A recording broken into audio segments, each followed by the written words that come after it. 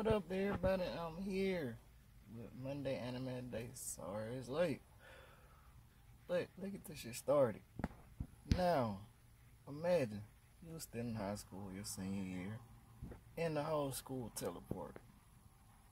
Nothing but the senior class. The whole entire senior class. I don't know how big your senior class is. I know mine was pretty damn big. But the whole senior class. And how would you feel about some of them getting superpowers and some of y'all not?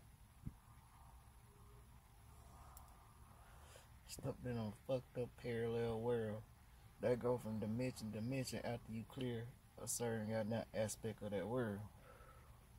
Or basically just find another door to another world.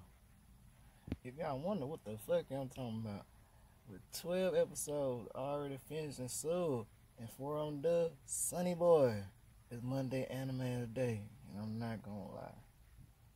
Kinda mind trip. Now, if you like mystery and superpowers, it's right up your alley, you pigly motherfuckers.